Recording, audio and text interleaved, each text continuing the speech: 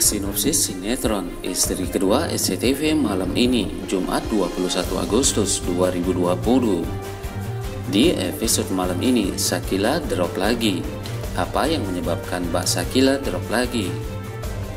Sementara Dr. Rian terlihat buru-buru dan panik datang ke rumahnya Arsa setelah tahu Mbak Sakila drop lagi.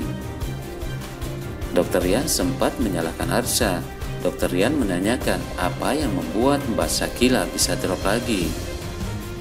Adegan lainnya, ada Arsa yang tiba-tiba emosi dan terlihat sempat mendorong dan menyeret Luna ke kamarnya. Apa yang Luna lakukan kepada Arsa sehingga membuat Arsa terlihat begitu emosi?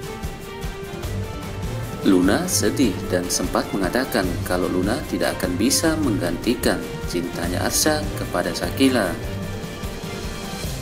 Adegan lainnya yaitu kedekatan Luna dan Angga suaminya Dewi.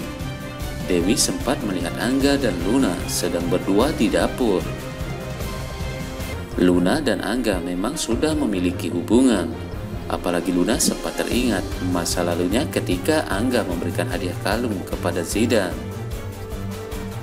Apakah Luna dan Angga akan kembali balikan? Apalagi Angga sekarang lebih terlihat bahagia bersama Zidan. Bagaimana dengan Dewi jika mengetahui kalau Zidan adalah anaknya Angga? Dewi memang sampai saat ini belum tahu masa lalunya Luna dan Angga.